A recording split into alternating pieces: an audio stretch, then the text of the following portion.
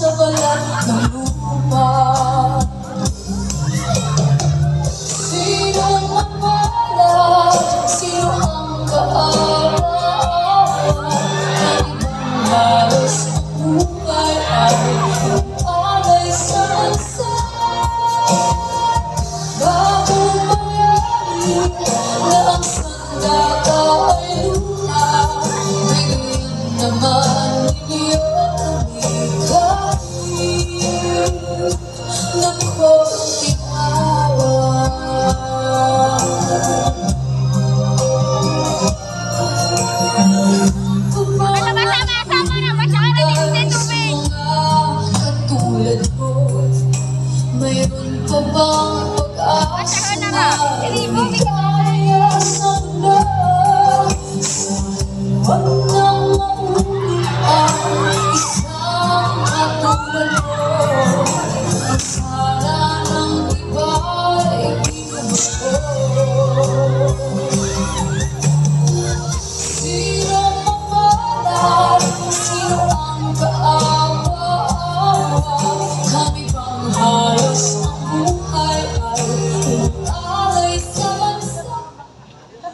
Nakakaiyak po ang kwento ninyong napanood.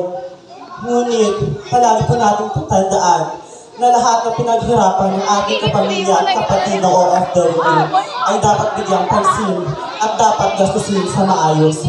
Kaya sa ating mga OFW, saludo po ako sa inyo at maraming salamat sa inyong serbesyo. Kayo ang makabagong bayani. Thank you very much.